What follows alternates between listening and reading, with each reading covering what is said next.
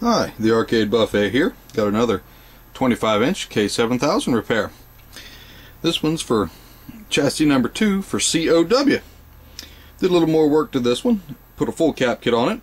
Did a put a flyback on it. Did a full reflow. Everything looking good. Run for a little over 24 hours.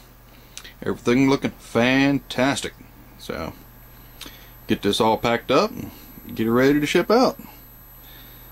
So if you need any tips or tricks, shoot me a hit me up at my website or hit my email, thearcadebuffet at gmail.com or my site, thearcadebuffet.com.